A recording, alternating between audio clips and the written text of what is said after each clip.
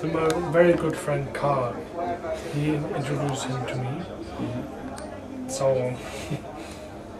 we met in Berlin first time, and then somehow it just went on and on. You know, nice, good vibes, very good vibes always.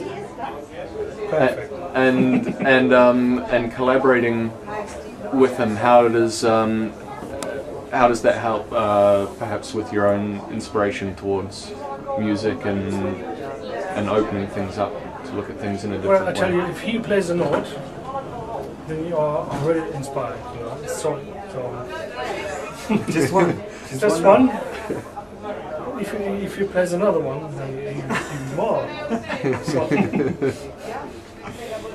And and and uh, the whole project Mm-hmm. uh, tonight. You have yourself, Carl, uh, very esteemed figures within the electronic um, music sphere, and then the young gun coming in.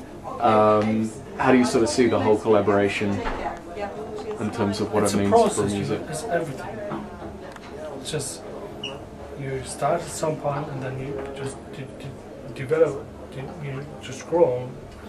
From e- every meeting, you just build on the on the last one and then on the next to the ne- next one. It's just a process.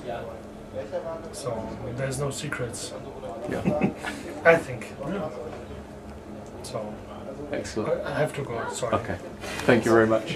Ciao, Mario. Cheers. Ciao. So bis bald. Huh? Ja, ich rufe an. Okay, thank you very much. You're welcome. Have a good night.